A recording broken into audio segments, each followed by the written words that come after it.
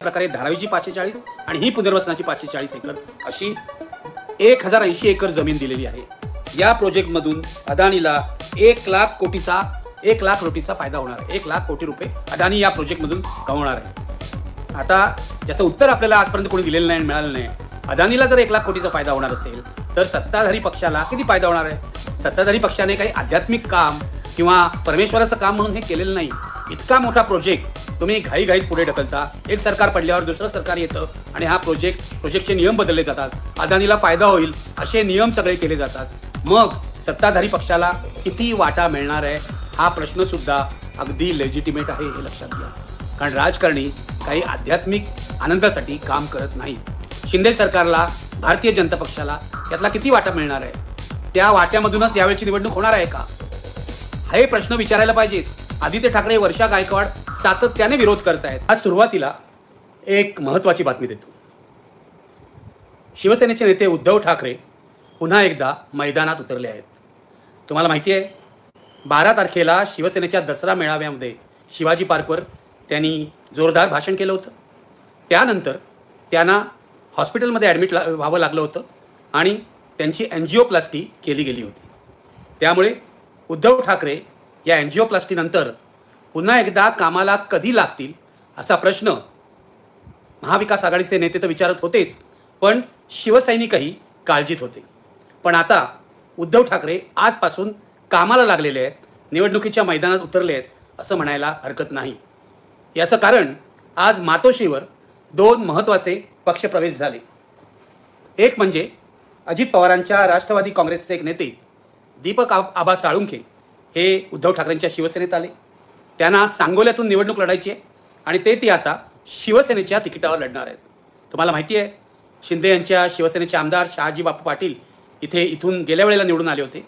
आणि दीपक आबा साळुंके हे त्यांच्यासाठीच काम करत होते.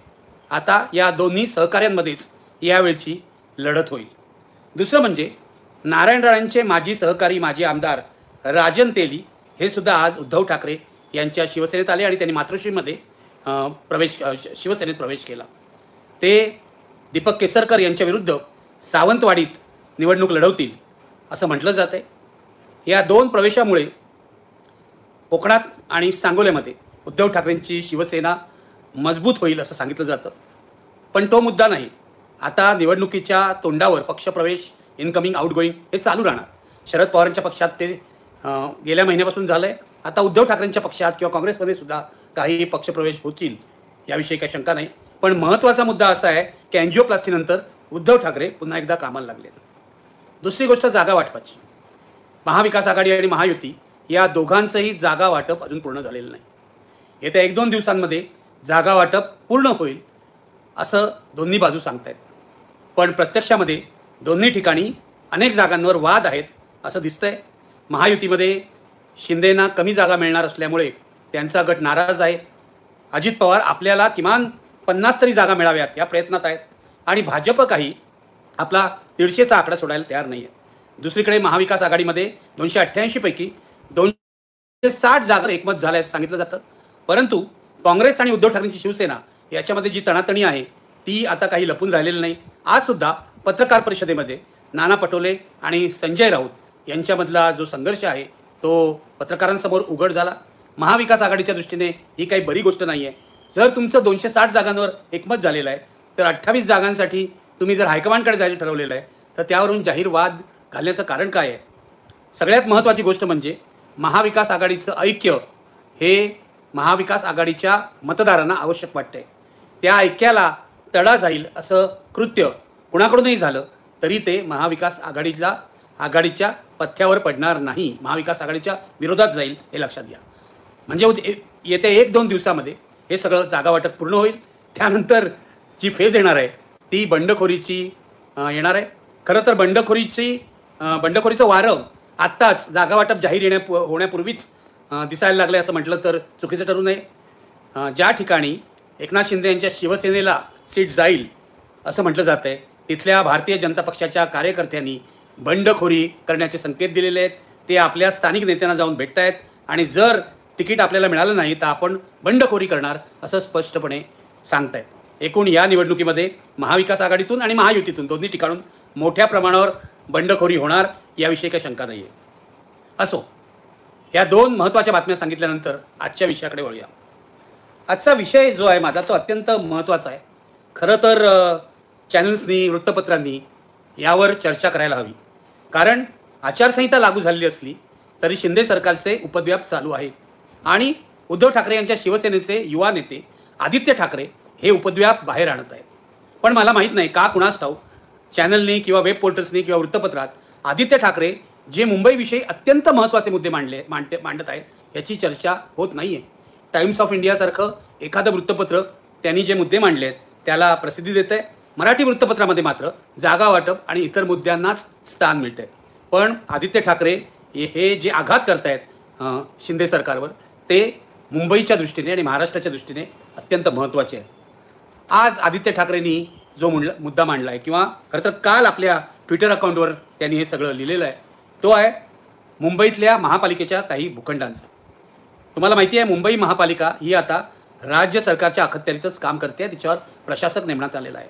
गेली दोन वर्ष मुंबई महापालिकेच्या निवडणुका झालेल्या नाही आहे आणि याचं एक महत्त्वाचं कारण म्हणजे शिंदे आणि भाजपच्या हातामध्ये मुंबई महापालिका राहावी आणि निवडणुकीच्या तोंडावर आपल्याला अनुकूल असे निर्णय घेता यावेत. हे होतं. आणि त्याप्रमाणेच आता निर्णय होत आहेत. आदित्य ठाकरेंनी जे म्हटलेलं आहे ते अशासाठी महत्त्वाचं आहे की अशा प्रकारचा निर्णय आजपर्यंत मुंबई महापालिकेत कधीच झाला नव्हता. हा निर्णय पहिल्यांदाच होतो आहे असं टाइम्स ऑफ इंडियाने सुद्धा म्हटलेलं आहे. मुंबईतले तीन महत्त्वाचे प्लॉट्स मोक्याच्या जागावरचे प्लॉट ज्याला प्राईम प्लॉट म्हणतात अशा प्लॉट्सचा लिलाव मुंबई महापालिकेने काढलेला आहे. हे असं पूर्वी कधीही झालेलं नाही. हे तीन कोणते प्लॉट्स आहेत हे आदित्य ठाकरेंनी जगासमोर मांडलेलं आहे. हे प्लॉट्स आहेत त्यातला पहिला प्लॉट आहे छत्रपती शिवाजी मंडई. छत्रपती शिवाजी मंडई ही क्रॉफर्ड मार्केटच्या जवळ आहे आणि हा हे मासळी मार्केट आहे. हे ज्यांना हा भाग माहिती आहे त्यांना कळू शकतं. महत्त्वाचं अत्यंत प्राईम लोकेशन आहे. हा प्लॉट मुंबई महापालिकेने लिलावाला काढलेला आहे. दुसरा प्लॉट आहे मलबारीलमधलं बी एस टीचं रिसिव्हिंग स्टेशन जे आहे तो प्लॉटसुद्धा लिलावाला काढलेला आहे. आणि तिसरा प्लॉट आहे वरळीचं. ॲ- वरळीचा जो ॲस्फाल्ट प्लॅन्ट आहे तो सुद्धा लिलावाला काढलेला आहे. आता हा लिलाव कसा होणार आहे? हा लला या हा लिलाव म्हणजे तीस वर्षाचं लीज असणार आहे. पण कोट्यवधी रुपये जो माणूस देणार तो फक्त तीस वर्षाचं लीज मान्य करेल असं दिसत नाही. म्हणून या करारामध्ये महापालिकेने तीस वर्षाचं लीज म्हटलेलं आहे. पण त्यानंतर आणखी तीस वर्ष म्हणजे एकूण साठ वर्ष हे लीज पुढे नेता येईल कंटिन्यू करता येईल असंही या करारात म्हटलेलं आहे. महापालिकेवर हे जे प्राईम प्लॉट आहेत ते विकायची वेळ का आली? कारण मुंबई महापालिका ही सरप्लस आहे असं सांगितलं जात होतं. हे प्लॉट आता विकायची वेळ आली कारण सध्या मुंबई महापालिकेला दोन लाख कोटीपेक्षा जास्त देणं झालेलं आहे. आणि ही जी तूट आहे ही भरून काढण्यासाठी हे प्लॉट विकणं आवश्यक आहे असं महापालिकेचे अधिकारी म्हणत आहेत. महापालिकेचे अधिकारी म्हणत आहेत की मुंबईमध्ये अनेक नवीन प्रकल्प चाललेले आहेत रस्त्यांचे प्रकल्प आहेत पुलांचे प्रकल्प आहेत. या प्रकल्पांना निधी पुरवण्यासाठी कुठून तरी नवा महसूल गोळा होणं आवश्यक आहे. आणि माजी आयुक्तांनी सांगितलं होतं की अशा प्रकारच्या नव्या महसुलाच्या कल्पना आम्ही राबवू. त्यापैकीच ही एक कल्पना आहे म्हणून हे तीन प्लॉट जे आहेत जे वेकंट आहेत जे रिकामे आहेत ते आम्ही विकायला काढलेले आहेत. पण आदित्य ठाकरेंचं असं म्हणणं आहे की शिंदे सरकार अशा प्रमा प्रकारे मुंबईची विक्री करायला आहे मुंबईचाच हा लिलाव आहे. हे लोकांच्या उपयोगाचे प्लॉट आहेत. हे विकणं योग्य नाही याला आमचा विरोध आहे असं आदित्य ठाकरे म्हणत आहेत आणि त्यांनी हा महत्त्वाचा मुद्दा मांडला आहे महापालिका सरप्लस होती ती अशा प्रकारे तोट्यात कशी गेली? हा तोटा भरून करण्यासाठी तुम्ही तीन प्लॉट आता विकतायत. पुढे आणखी किती प्लॉट विकणार आहात?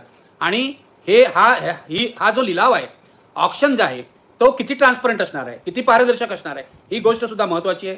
कारण आचारसंहिता लागण्यापूर्वी शिंदे यांच्या सरकारने अनेक प्लॉट्स आपल्या जवळच्या माणसांना दिलेले आहेत. आपल्या जवळच्या संस्थांना दिलेले आहे तसा बी के सीमध्ये एक प्लॉट हा मुंबई बँकेला सुद्धा देण्यात आलेला आहे. तसेच शिंदे यांच्या विविध मंत्र्यांच्या जवळच्या लोकांना प्लॉट्स देण्यात आलेले आहेत. हे तर मुंबई महापालिकेचे प्राईम प्लॉट्स आहेत. त्यामुळे तूट भरून काढण्याच्या नावाखाली आणखी किती प्लॉट्स विकले जाणार आहेत? हा प्रश्न आहे. आदित्य ठाकरे म्हणतात त्याप्रमाणे विरोधी पक्षाने म्हणजे आता महाविकास आघाडीने याला विरोध केला पाहिजे. ही जी मंडई आहे याच्यातली मी म्हटलं फिश मार्केट जी आहे छत्रपती शिवाजी मंड मंडई हे विकल्याने तिथे उपजी उपजीविका करणाऱ्या मच्छीमार समाजाच्या आयुष्यावर परिणाम होणार आहे. त्यामुळे ह्याला विरोध केला पाहिजे. आणि हे फिश मार्केट तुम्हाला जर मॉडर्न करायचं असेल सुधारायचं असेल नवी पुन्हा बांधणी करायची असेल तर ते करून पुन्हा एकदा हे फिश मार्केट मच्छीमार समाजाच्या विक्रेत्यांनाच मिळेल हे बघायला पाहिजे असं आदित्य ठाकरे यांचं म्हणणं आहे. दुसरं म्हणजे इतर दोन जे प्लॉट आहेत तिथे जर महाविकास आघाडीचं सरकार आलं तर पोलिसांसाठी घरं वगैरे योजना राबवल्या जातील. हे प्लॉट अशा प्रकारे लिलावात काढले जाणार नाहीत असं आदित्य ठाकरेंचं म्हणणं आहे. आदित्य ठाकरेंचा हा मुद्दा अत्यंत महत्त्वाचा आहे. मुंबईच्या दृष्टीने महत्त्वाचा आहे. कारण ज्या महानगरपालिकेने इतकी वर्ष कोणताही प्लॉट अशा प्रकारे विक्रीला किंवा लिलावाला काढलेला नाही ती माल महापालिका आता हे करते निवडणुकीच्या तोंडावर करते त्यामुळे याविषयी संशय येणं स्वाभाविक आहे. आदित्य ठाकरेंनी आणखी एक पत्रकार परिषद घेतली होती ज्याविषयी चर्चा होणं आवश्यक होतं. ही पत्रकार परिषद होती धारावीच्या पुनर्विकास योजनेबाबत धारावी रिडेव्हलपमेंट स्कीम जी आहे ती अनेक दिवस वादामध्ये सापडलेली आहे आपल्याला माहिती आहे. माझ्या मते शिंदे सरकारच्या काळातला हा सर्वात मोठा घोटाळा असू शकतो. जेव्हा उद्धव ठाकरेंचं सरकार पाडण्यात आलं त्यानंतर या धारावी रिडेव्हलपमेंट स्कीमचे नियम बदलून हे टेंडर अदानीला देण्यात आलं. आधी उद्धव ठाकरेंच्या काळात हे टेंडर अदानीला मिळालेलं नव्हतं. सरकार पडल्यानंतर शिंदे भाजप यांचं सरकार आल्यानंतर हेच टेंडर अदानीला देण्यात आलं. आणि नियम बदलून अदानीचा जास्तीत जास्त कसा फायदा होईल हे पाहिलं गेलं. हेच आरोप आदित्य ठाकरेंनी दोन दिवसापूर्वीच्या पत्रकार परिषदेमध्ये केलं आहे त्यांचं असं म्हणणं आहे की ही जी धारावीची धारावीची लँड आहे जिथे लोक राहत आहेत घरं आहेत लोकांची ती सर्वसाधारणपणे तीनशे एकर जमीन आहे. आणि जिथे छोटे छोटे उद्योग फॅक्टऱ्या वगैरे आहेत ही दोनशे एकर जमीन आहे. अशी दोन्ही मिळून पाचशे चाळीस एकर जमीन आहे. अदानीला एवढीच जमीन पुनर्वसनासाठी दिलेली आहे. आत्ता आचारसंहिता लागण्यापूर्वी अदानीला जी जमीन जमीन दिलेली आहे. देवनारला एकशे चोवीस एकर जमीन दिलेली आहे. कुर्ल्याला एकवीस एकर जमीन देखील दिलेली आहे. मुलुंड कांजूरमार्ग वगैरे ठिकाणी दोनशे पंचावन्न एकर जमीन दिलेली आहे. मड आयलंड वगैरे ठिकाणी एकशे चाळीस एकर जमीन दिलेली आहे. अशी एकूण पाचशे चाळीस एकर जमीन पुनर्वसनाच्या नावाखाली देण्यात आलेली आहे. यापैकी देवनारची एकशे चोवीस एकर जी जमीन आहे ती न्यायप्रविष्ट आहे तिचा खटला चालू आहे आणि अशा प्रकारे खटला चालू असताना न्यायालयाच्या अधीन जमीन असताना ती कुणाला तरी देणं हे सरकारला योग्य ठरत नाही कायदेशीर कायदेशीर ठरत नाही. त्यामुळे त्यालाही आदित्य ठाकरे यांनी जोरदार ऑब्जेक्शन घेतलेलं आहे. त्यांचं असं म्हणणं आहे की या सगळ्या व्यवहारात धारावीच्या व्यवहारात एक लक्षात घ्या धारावी हा मध्य आहे मुंबईचा. इथून पश्चिम उपनगरात पण जाता येतं पूर्व उपनगरात जाता येतं. इथून वेस्टर्न एक्सप्रेस हायवेला सुद्धा जाय जाता येतं. ईस्टर्न एक्सप्रेस हायवेला जाता येतं. इथून दक्षिण मुंबईत सुद्धा जाता येतं. त्यामुळे धारावी ही जरी आजपर्यंत एशियातली सर्वात मोठी झोपडपट्टी म्हणून ओळखली जात असली तरी ही फक्त झोपडपट्टी नाही. इथे असंख्य लोक राहतात. किमान सात ते दहा लाख लोक इथे राहतात. आणि इथे अनेक उद्योगधंदेसुद्धा चालतात. मुंबईतला चामड्याचा सगळ्यात मोठा धंदा म्हणजे लेदर बॅग्स वगैरे बनवण्याचा लेदर मॅन्युफॅक्चरिंग इथे मोठ्या प्रमाणावर चालतं. खाद्यपदार्थ बनवण्याचेही कारखाने छोटे छोटे छोटे छोटे उद्योग इथे खूप आहेत. तेव्हा पुनर्वसन करायचं तर या लोकांना विश्वासात घेऊन करायला पाहिजे. पण आत्ता जे पुनर्वसन होतं आहे ते दडपशाहीने होत आहे ते लोकांना विश्वासात न घेता होत आहे लोकांची दिशाभूल करून होत आहे असा विरोधकांचा आरोप आहे. आदित्य ठाकरेंनी आरोप केले वर्षा गायकवाड या भागातल्या खासदारही ज्या पूर्वी धारावीच्या आमदार होत्या त्यासुद्धा सातत्याने ही बाजू मांडत आहेत आता निवडणुकीच्या तोंडावर अदानीला जवळजवळ पाचशे चाळीस एकर एवढी जमीन पुनर्वसनासाठी दिली गेली.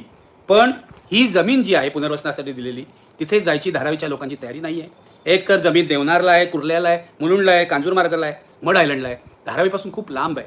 त्यामुळे इथे काम करणारे लोक इथे राहणारे लोक म्हणत आहेत की आम्हाला येण्या जाण्याचा जो खर्च होईल तो आम्हाला आमच्या मिळकतीमध्ये परवडणार सुद्धा नाही. आमचं पुनर्वसन करायचं तर धारावीतच करा. जे काय तुम्हाला करायचं तसं आश्वासन पूर्वी दिलं होतं सरकारने. जे काय तुम्हाला करायचं ते धारावीतच करा. पण अदानीला अशा प्रकारे धारावीची पाचशे चाळीस आणि ही पुनर्वसनाची पाचशे चाळीस एकर अशी एक हजार ऐंशी एकर जमीन दिलेली आहे. या प्रोजेक्टमधून अदानीला एक लाख कोटीचा एक लाख कोटीचा फायदा होणार आहे. एक लाख कोटी रुपये अदानी या प्रोजेक्टमधून कमवणार आहे. आता ज्याचं उत्तर आपल्याला आजपर्यंत कोणी दिलेलं नाही मिळालं नाही अदानीला जर एक लाख कोटीचा फायदा होणार असेल तर सत्ताधारी पक्षाला किती फायदा होणार आहे? सत्ताधारी पक्षाने काही आध्यात्मिक काम किंवा परमेश्वराचं काम म्हणून हे केलेलं नाही. इतका मोठा प्रोजेक्ट तुम्ही घाईघाईत पुढे ढकलता. एक सरकार पडल्यावर दुसरं सरकार येतं आणि हा प्रोजेक्ट प्रोजेक्टचे नियम बदलले जातात. अदानीला फायदा होईल असे नियम सगळे केले जातात. मग सत्ताधारी पक्षाला किती वाटा मिळणार आहे? हा प्रश्नसुद्धा अगदी लेजिटिमेट आहे हे लक्षात घ्या. कारण राजकारणी काही आध्यात्मिक आनंदासाठी काम करत नाहीत. शिंदे सरकारला भारतीय जनता पक्षाला यातला किती वाटा मिळणार आहे? त्या वाट्यामधूनच यावेळची निवडणूक होणार आहे का? हे प्रश्न विचारायला पाहिजेत. आदित्य ठाकरे वर्षा गायकवाड सातत्याने विरोध करतायत. इथे छोट्या छोट्या नागरिकांच्या सभा होत आहेत इथे नागरिकांच्या ज्या संघटना आहेत धारावीमध्ये त्या आता पूर्वीपासून विरोध करत आहेत आणि मी तुम्हाला सांगतो धारावी परिसरात ज्या जे विधानसभा मतदारसंघ आहेत त्यामधून यावेळेला सत्ताधारी पक्षाच्या सर्व आमदारांचा पराभव होणार. हे माझ्याकडून लिहून घ्या. लोकसभेला सुद्धा याचं प्रतिबिंब दिसलेलं आहे. लोकसभेला शिवसेनेचे अनिल देसाई जे निवडून आलेले आहेत ते त्यामध्ये धारावीच्या मतांचा मोठा वाटा आहे. धारावीचे नागरिक धारावीचे रहिवासी हे या पुनर्वसन प्रकल्पामुळे किंवा धारावी रिडेव्हलपमेंट प्रकल्पामुळे सरकारच्या विरोधात गेलेले आहेत. आणि आदित्य ठाकरे सातत्याने हे लावून धरत आहेत. गरज याची आहे की या गोष्टी माध्यमातून पुढे येतील माध्यमातून चर्चा होतील. पण हल्ली राजकीय म्हणवणारे रिपोर्टर काय करतात? एका गटाकडून येणारी बातमी देतात त्याच्या विरोधात दुसऱ्या गटाकडून येणारी बातमी देतात. किंवा एक नेता विधान करतो त्याच्या विरोधातलं विधान दुसऱ्या नेत्याकडून घेतात आणि त्यालाच पत्रकारिता म्हणतात. धारावीसारखा जो महत्त्वाचा विषय आहे त्यावर या निवडणुकीत फोकस झाला तर तो मुंबईकरांच्या हिताचा असेल. म्हणून आदित्य ठाकरे सातत्याने हे हे जे आघात करतायत या ज्या पत्रकारिता पत्र पत्रकार परिषदा घेत आहेत त्या अत्यंत महत्त्वाच्या आहेत. आदित्य ठाकरे मुंबईच्या प्रश्नावर सातत्याने फोकस करतायत. उद्धव ठाकरे हॉस्पिटलमध्ये असताना ते ड्रायव्हर सीटवर बसले होते आणि त्यांनीच नेतृत्व हातात घेतलं होतं. माझ्या मते त्यांच्या दृष्टीने हा अनुभव खूप महत्त्वाचा आहे. या निवडणुकीत उद्धव ठाकरेंच्या बरोबरीने आदित्यनाथ ठाकरेंचं नेतृत्व पुढे येताना दिसतंय. ते अशा प्रकारे महाराष्ट्राशी निगडीत मुंबईशी निगडीत प्रश्न जर आक्रमकपणे मांडणार असतील तर जे काम विरोधी पक्षाने करायला हवं आता महाविकास आघाडी विरोधी पक्ष आहे. ते काम ते करतायत असं नागरिक म्हणतील. पण उद्या जर महाविकास आघाडी सत्तेमध्ये आली तर त्यांची ही जबाबदारी राहते की ज्या गोष्टी त्यांनी आज मागितल्या आहेत किंवा जे आक्षेप आज घेतले आहेत त्या आक्षेपानुसार या धारावीच्या प्रकल्पामध्ये बदल झाले पाहिजेत आणि तिथे जनविरोधी ज्या गोष्टी आहेत नागरिकांच्या विरोधातल्या ज्या गोष्टी आहेत त्या दूर केल्या पाहिजेत. मुळात तिथल्या नागरिकांना विश्वासात घेतलं पाहिजे पारदर्शकता आणली पाहिजे आणि कोणत्याही वेळी नागरिकांच्या घरी जाऊन जे सर्वे केले जातात कधी सकाळी जातात सरकारी कर्मचारी कधी संध्याकाळी जातात नागरिकांना दटावल्यासारखं करतात हे सगळं बंद झालं पाहिजे. अत्यंत महत्त्वाचा मुद्दा आहे. धारावी रिडेव्हलपमेंट प्रोजेक्ट हा मुंबईच्या दृष्टीने अत्यंत महत्त्वाचा प्रोजेक्ट आहे. तो अदानीसारख्या उद्योगपतीच्या घशात घालून युती सरकार जर जनताद्रोह करणार असेल तर ही जनता युती सरकारला निश्चितपणे धडा शिकवेल. आता एक शेवटचा मुद्दा. काल मी तुम्हाला म्हटलं होतं की आचारसंहिता जाहीर झाल्यावर शिंदे सरकारने काही गडबडी केल्यात लबाडे केल्या आहेत काही निविदा त्यांनी सरकारच्या वेबसाईटवर टाकलेल्या आहेत. काही नेमणुका केलेल्या आहेत. काही जी आर काढलेले आहेत. शेकडो जी आर काढलेले आहेत.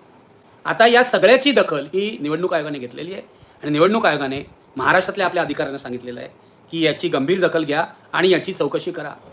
तुम्ही का बघा काल आणि आजमध्ये जे सरकारने जी आर टाकले होते वेबसाईटवर त्यातले शंभराहून अधिक जी आर कमी करण्यात आले. कमी करण्यात आले म्हणजे रद्द करण्यात आले मागे घेण्यात आले वेबसाईटवरून. याचं कारण निवडणूक आयोगाने घेतलेला आक्षेप आहे. विविध महामंडळामध्ये पाच पन्नास नेमणुका या सरकारने केल्या होत्या आणि आपल्या कार्यकर्त्यांना खुश करायला महामंडळाचं अध्यक्षपद किंवा उपाध्यक्षपद दिलं होतं. त्यावरही आक्षेप घेण्यात आलेले आहेत. याचं कारण या नेमणुकासुद्धा आचारसंहिता लागल्यावर केलेल्या आहेत. त्याचीही चौकशी आता निवडणूक अधिक आयोगाचे अधिकारी केले करणार आहेत.